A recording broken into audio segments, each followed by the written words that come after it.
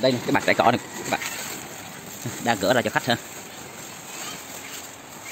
đây cái bạc này thì độ dài của nó lên tới 120 gram trên một mét vuông như các bạn thấy đây ha. Khá là dày. Kéo kéo. Khá là dày các bạn. Này. đây này do cái cái, cái khổ mà mình đang làm ở đây là 4 mét.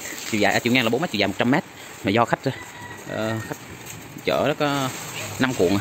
mà chở bằng xe cho nên là mình mình tháo ra mình xếp gọn lại cho khách cho đáng lẽ bình thường là nó sẽ xếp như thế này các bạn ha. Đó đây thì cái tác dụng của cái bạc trải cỏ này là nó phủ lên mặt đất. Nó sẽ ngăn cái sự cỏ dại nó mọc các bạn ha và nó ngăn cái hình thành những cái ờ, nấm mốc cũng như là loại vi khuẩn ở trong đất ha. nó giúp uh, cho cái vườn của mình nó sạch hơn cũng như là giảm được một uh, ít sâu bệnh hơn các bạn ha. Đây thì đặc điểm của cái bạc này nè thì các bạn cũng thấy rồi đó. Nó rất là bóng và nó có phủ lớp UV để nhằm uh, gia tăng cái tuổi thọ của cái sản phẩm này.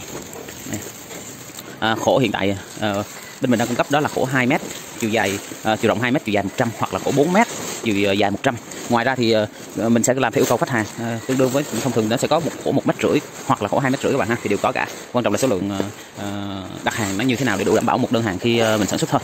Đây.